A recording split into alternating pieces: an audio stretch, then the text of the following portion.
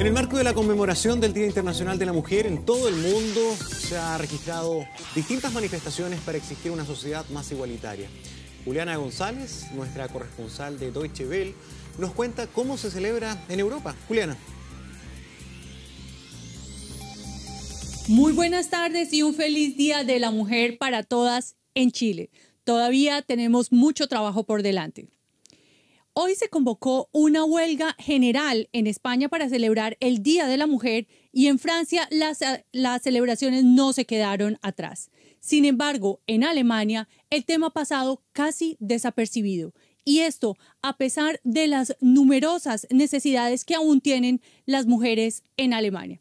Por ejemplo, tenemos el tema de la brecha salarial en un país como Alemania, eh, donde la educación eh, de las mujeres es, o la asistencia, digámoslo así, a la educación superior por parte de las mujeres es de un 44% frente a un 34% de los hombres, es increíble que todavía sucedan estas inequidades. Y es que los últimos estudios de la Unión Europea mencionan que se trata de una brecha salarial de hasta un casi 24% para trabajos que son para las mismas personas, pero que son remunerados de diferente manera si se es hombre o si se es mujer.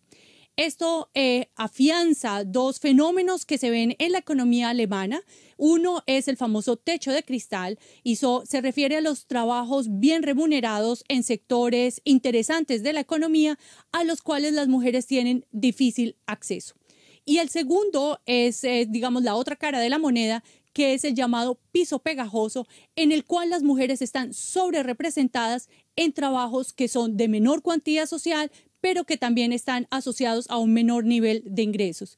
Lo preocupante de esta situación es, por supuesto, que esto tiene un efecto en, la, en, en materia pensional, es decir, una mujer alemana de mayor de 65 años, es decir, que ya está en edad de pensionarse, tiene mayores probabilidades de vivir en la pobreza que, por ejemplo, uno de sus pares en España, en Hungría o en Francia.